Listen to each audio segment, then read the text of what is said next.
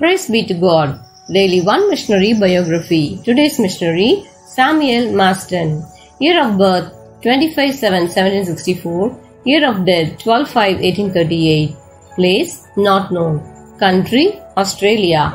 Place of vision, New Zealand. It was a period when the Roman Empire was consolidating and many people were working for it. Once, a wise man saw a worker and asked what he was doing. The worker replied, I am breaking the stones. He went forward a few steps and asked another person the same question. He replied, I am carving a pillar out of a stone.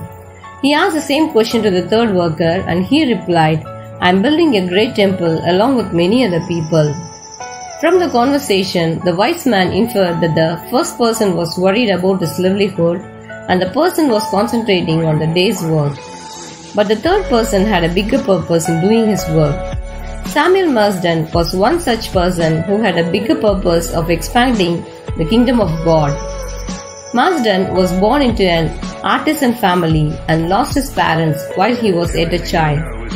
Before he could graduate, he responded to God's call to serve him an overseas mission in Australia. In the next few years, Marsden was busy serving not merely as a chaplain, but also as a magistrate there but his heart longed to evangelize the Maoris, the indigenous people in New Zealand. In 1814, he set out in search of Maori people who were wild, uncivilized barbarians who ate human flesh and fought fiercely. Marsden tried to build trust with Maori chiefs and worked to change these people for Christ.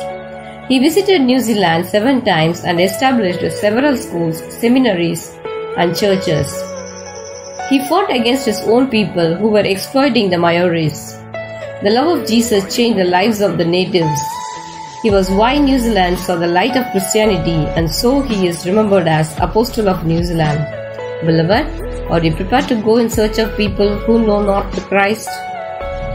God bless you.